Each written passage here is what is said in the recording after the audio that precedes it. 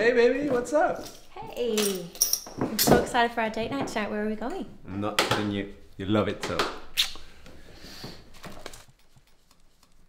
Um, you know my friend Laetitia? Yeah, nice girl. I met her and her wife at the cafe today, and we talk, right? Yeah. Oh my god, Dan and Andrea are getting married.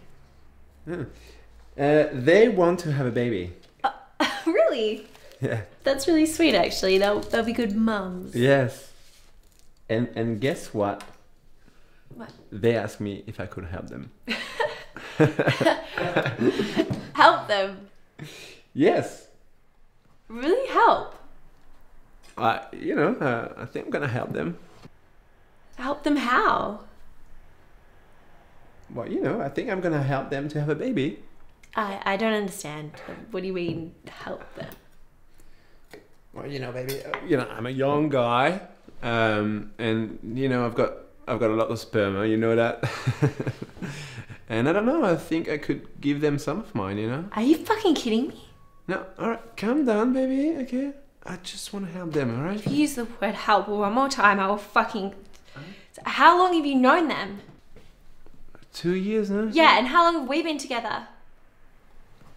Uh, three, three years. Yeah, yeah, that's fucking right. Yeah. Did you ever think that maybe my wife might want to have a baby?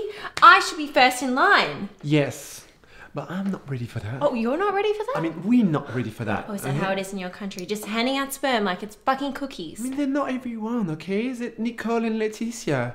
And you don't criticize my country. We're probably more generous than you are, and we probably have better sense of helping people. Yeah, I'm sure the French love helping people. Mm-hmm. Yeah, it is a country of love, oui, oui.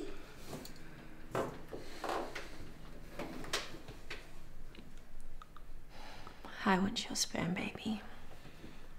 Yes, but they ask first. My sperm isn't leaving this fucking house. Maybe, maybe it's a bit too late.